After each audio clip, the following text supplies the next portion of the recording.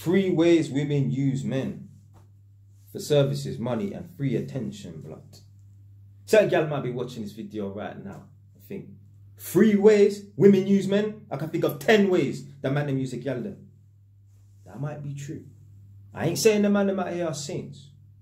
But this is a man's channel. If you don't like it, go make your own Clark YouTube channel, make your own videos and that. So the way this video came about is I was telling my girl about certain times in the past where man spoke to girl and they try finesse man. They think I'm stupid. Not finesse man on a serious level. Man's not talking about they try finesse man out of a free holiday or they get me thousands and thousands of pounds. Don't get twisted in it. But even little dumb minor stuff, which I'm gonna reveal soon, they try finesse man. They don't understand man's J Wise. Even before this YouTube, man's always been J Wise. At least since like man's 20, 21 years old, 30 years old right now, yeah. So at least a decade man's been J Wise, bro. Jumped on the camera in 018, so that was like almost four years ago. Start with the first one. And man, pay attention to this because you might be getting used right now and you don't even realize, my brother. For services, just the first one on the list, blood. So as you know already, I'm an electrician. So by default, people are just going to assume I'm handy around the house. If I know how to fit sockets, chase, drill out walls, fit lights, of course I'm going to be able to do little other bits and pieces around the house. Potentially paint, potentially put a wardrobe together, potentially put up some blinds. Hmm. So anyway, got one things number one time. And um, chatting to it or whatever. And she was saying that, yeah, um, in a couple of weeks' time, trying to be really vague. In a few weeks' time, I'm looking to get some blinds and that. And um, yeah, you seem like quite a handy person and that. And I was thinking, like, you know, maybe in a couple of weeks' time as well, if you wanted to, like, I could cook you some food and that you could come around for dinner and that. She sent me that in a voice note. I responded to her, listen, the only person I'm a handyman for is my mum. So you're gonna have to find someone else to put up these blinds for you, innit? That was pretty much the last time I ever spoke to this gal, innit? I'm not fucking stupid. This chick will use the hopes of getting sex as an excuse to lure me into her house for food when really and truly she wants you to put the fucking blinds. This girl's being very vague and that, like, oh, yeah, maybe if you're free in a couple of weeks' time, I can make you some food and that. And yeah, I'm planning to get some blinds and that. You're quite handy around the house. Maybe you could help me out and put them up and that. What would most men do? Yeah, yeah, yeah, I'll help you. It's a 10 minute job. I don't give a fuck. I'm a man of principle and that. Certain man, yeah, yeah, yeah, I'll help you because they know, oh, that means I have a, because this, i never been to a yard before. Never been to a yard. Oh, this is going to be a free pass, a free access pass to her yard. And if I'm, if I'm in her house, I have more chance of banging her if I'm in her yard than just talking on the phone. So certain man, how, why did it take you so long to even ask me? I don't give a fuck, blood.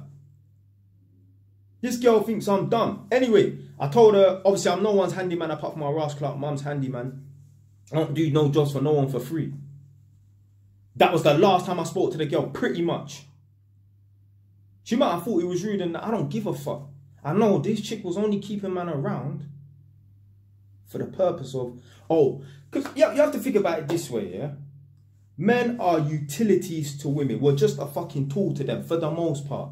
So her, you have to think about it this way. In her head, she's gonna think to herself, my life will never be any worse if because I ain't no weirdo that just constantly hollering a gal, constantly texting, phoning them. No.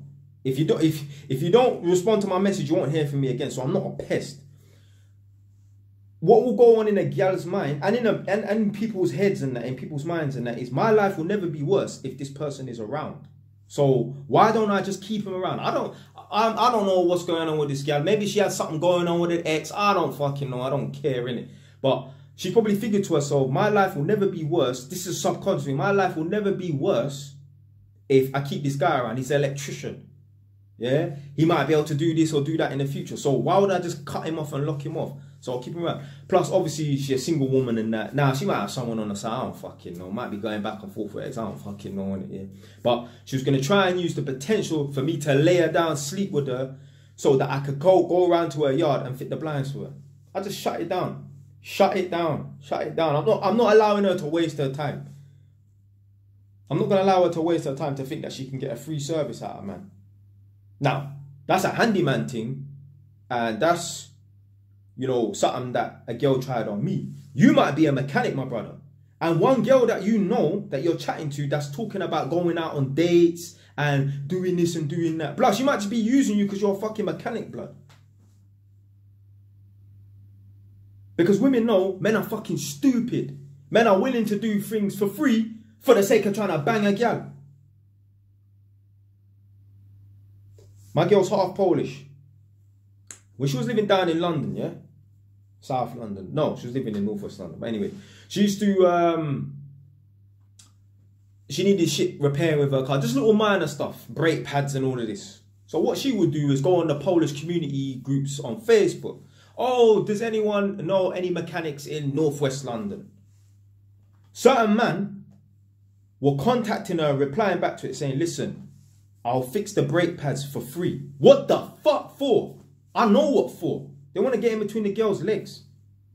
No, you don't believe, man. If my girl was 400 pounds, she smelled a piss, she was bold, she had a fucking mole with trees growing out of it, do you think they'll be fucking trying to fix her brake pads for free? The answer's no, blood. They saw a picture, they thought, yeah, this thing's alright. Let me do it for free. So that, oh, I've done this for free, so now you, I'm not going to say directly owe me sex, but you owe me a date. Fuck that. I ain't doing nothing for no one for free. I don't give a fuck. Yeah, maybe if I did go to that woman's house and fit the blinds and that. Yeah, maybe I could have smashed it. Maybe. Who gives a shit?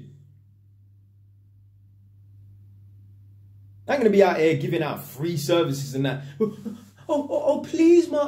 What, for the hopes of getting laid? Nah, nah, nah, nah, nah, nah, nah, nah. I got more pride and dignity and I don't give a fuck. Single and I don't give a fuck if man on, on a year, year and a half drought. I don't business blood. I don't business blood. So that's the first one. Certain man will get used for services and that. Second one, money. I had one girl one time. Now, certain man might be watching this right now and obviously, I ain't gonna uh, talk about too too much different scenarios and that. But certain man might feel like, rah, Jay talk about get rejected this time, that time, that blood. Man's approach with bare gal in my life. If you don't want to get rejected by girls, don't approach gal. The reason why I've been rejected by so many girls in my life, turned down, aired by so many girls in my life, is because I put myself out there to get rejected. The best way to never get rejected or turned down by a girl, don't approach nothing but blood. You ain't gonna get no girls, fam. It's a numbers game out here. So anyway, for the most part, if you get 10 girls' numbers, you might get three of them out on the date. It's just the way the game goes, isn't it? So anyway, boom, I got one girl's number one time. Uh, I think she was half Indian, half Albanian. Uh, when I saw her, I just thought like she was like Arab looking, like Persian, whatever, right? Got the girl's number, chatting to her, chatting to her, chatting to her, just back and forth, back and forth. But the convo went dead after a day. So man know what that is, isn't it? Yeah. She was just being polite, gave out the number, whatever. So the convo went dry. Let's let's just say it happened, I don't know, in, in June or something, yeah? The convo went dry in June. Randomly one day, blood. Five, six months later, I don't fucking know. Randomly one day, blood. This girl hit me up at night time. Have you got £10? I was like, no. She was like, all right, just asking. Like, I didn't even send her, I don't know, maybe I sent her a voice, I can't remember in it, but I was like, no. She was like, oh, just asking in it, yeah, just wanted to know if I could borrow £10 uh, for the next couple days and that. No. Certain people might think, oh, she was just generally desperate and that. No, she might have needed £10 and that. But gal are smart and gal know that man are dumb and gal know man will use any excuse to try and get in between girls' legs. So what would most men do? Yeah, yeah, yeah, here's £10 and that. Certain man, see, this is the psychology of a girl hitting man up after six months asking for £10. She didn't need no fucking £10. So you're gonna contact a complete stranger for the most part. I spoke to her for one day. I'm a complete stranger. You're gonna contact a complete stranger. You ain't got what? You ain't got a mum. You ain't got a dad. You ain't got brothers and sisters. You ain't got cousins. You ain't got no aunties. You ain't got no friends. Grandma, granddad. You're gonna ask a complete stranger for ten pound. I tell you what that situation was. She probably trying to throw the bait out there. Oh, have you got ten pound in that? To see if I'm gonna buy the bait and give her ten pound. I guarantee you, if I gave her that ten pound, she would hit me up at some point. You got a hundred. See, no one's gonna hit you up out of nowhere and they don't know you asking for a hundred pound. No. They're gonna ask you for small amount of money, ten pound, twenty pound, and that to see what happens. You would never contact me again ever asking for money. I shut that rascal down, blood. This is the psychology behind it. Certain man, they'll get a girl's number, let's say in June or whatever. They get a girl's number in June. They'll chat to the girl. It will, the conversation will go dead after a day or two. Cool. But then when the girl hits them up six months later, five months later, asking for ten pound, they'll think, "Oh my god, maybe she is into me. Oh, she the, the flame within her is ignited and that. Oh, maybe this is my chance. Yeah, yeah, yeah. I'll give her the ten pound. What's ten pound? Blood, it's your fucking dignity, it's your self respect, blood. Never, never fall for that nonsense and that. Next one, last one, attention. Now, obviously, I'm sure there's 10 things I can think of, but there's three right now. Free attention. Uh, there was one time I got one girl's number, like I said, for me to get girls' numbers is easy and that. Um, a certain man will struggle to get girls' numbers. I never really struggled to get girls' numbers and. But one time I must have been driving in that and I see one girl in it, so I've hopped out of my car. And uh, no, I didn't even hop out of my car. I waited for her to come and I was talking to her through my car. Chatting to her, chatting to her, chatting to her. Got her number bus out, I don't know, the next day or two, whatever, in it. Text her, air, no response. Cool. But I don't delete girls' numbers. I don't give a fuck. I still got girls' numbers in my phone from like four or five years ago. I don't give a fuck. Certain man, they'll get air by a girl. Oh, delete this girl's number. I don't give a fuck, blood. I don't care, blood. It don't mean nothing to me. So anyway, message the girl two days later, day later, whatever. And air. She didn't respond two blue ticks. She didn't even save my number, so there was no profile picture. I'm just seeing default picture, default picture, innit? So anyway, boom, she aired, man, cool. Again, about four, five, six months later, this girl hit me up. Hey, you alright? I'm like, yeah, well, go on in it. Like, I bet she was thinking, I bet this guy deleted my number. No, I, I still got your number because I, I don't give a fuck. Why do I care? I've got men's numbers in my phone that I haven't contacted for 10 years. I don't care. You are not. Anyway, so boom. Hey, what's up? Boom. Yeah, yeah, I'm good in it. Yeah, boom. Just going back and forth, texting, texting, texting. She was like, yeah. The reason why um I I, I didn't get back to you before because I had some stuff going on and that, but I'm out of it now. And yeah. So basically, what you're telling me is that at the time when I got your number, maybe you was having a little dispute with your boyfriend, things weren't going well, it was a bit rocky and that cool. So you took my number or you gave me your number. When when I hit you up, you didn't respond to me because obviously you was maybe going back and forth with your boyfriend. Cool.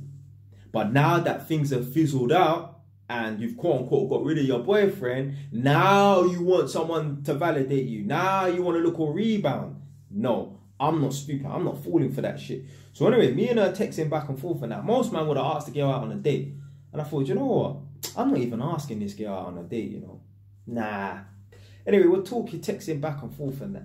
And I can't remember what happened. Like, I must have I must have said like, oh yeah, Tottenham's coming up and that, and she was like, yeah, it is, isn't it? I was like, yeah, it's surprising because it used to be a rundown area, and that. and then she texts me back with a smiley face emoji. I just like I just aired her.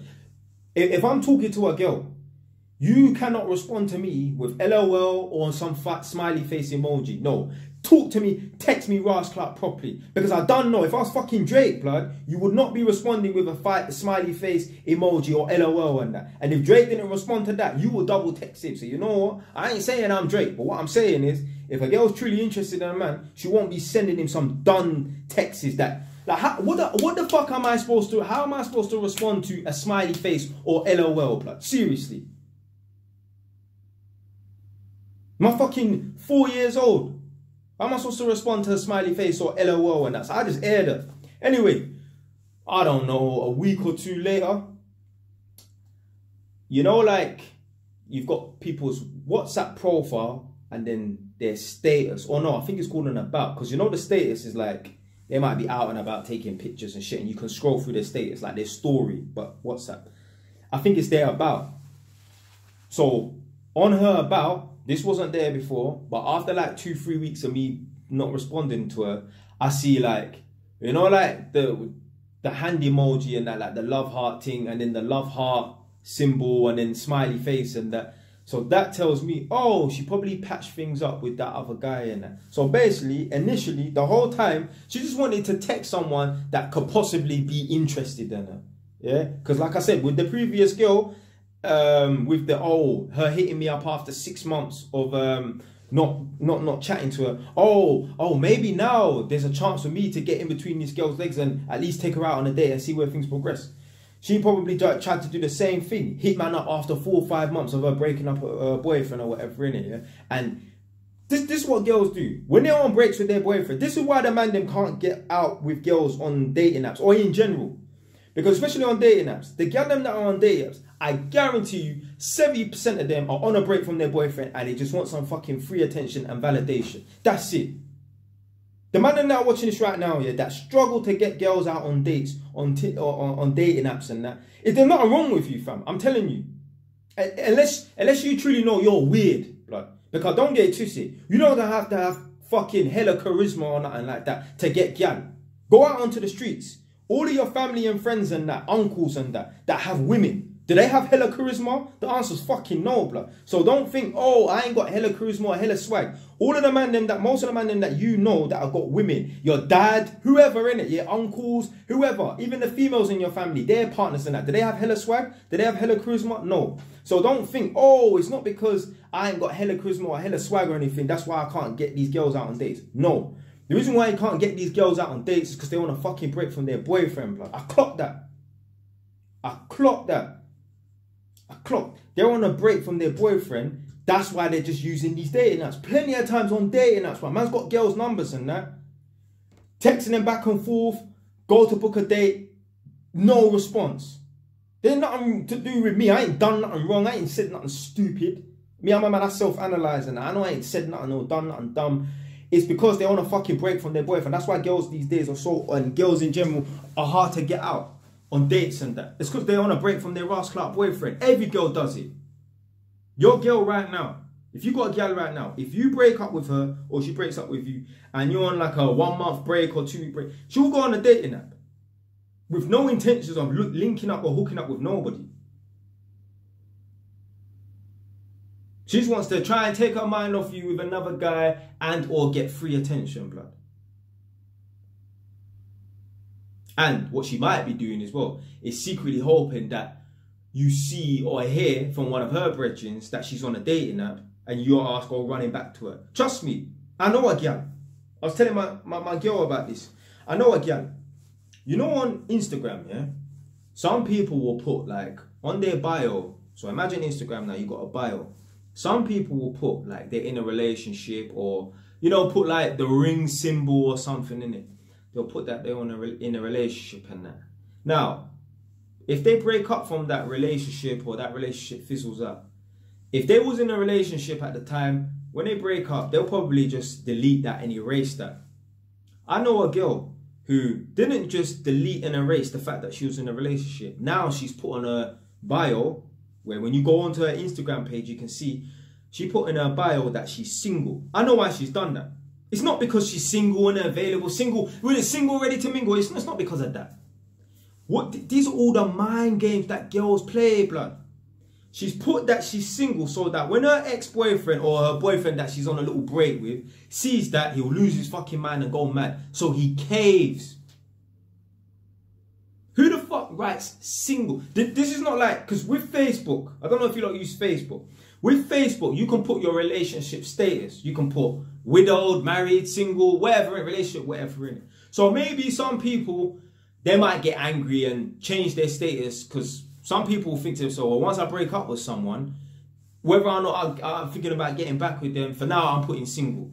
There's a difference between changing your status from taken or relationship to single, then deleting it and physically typing out the word single. She done that to piss him off. She done that so that he goes running back to her. I guarantee, this is her baby dad. I guarantee you, in within the next six months' time, I'm gonna see that they're back together. I promise you. I promise you. I promise you. Yeah, I love doing that. They love posting up nonsense and that on fucking social media. I'm gonna end the video in a minute, but I remember like I saw one girl's um, post on Instagram and I actually took a screenshot of it and I showed my girl in it and I was like, this is what girls do, you know? Like certain men think like when it's over with their gal and that I put it this way, this girl posted up one thing in it, I'm probably gonna put it up on the screen now.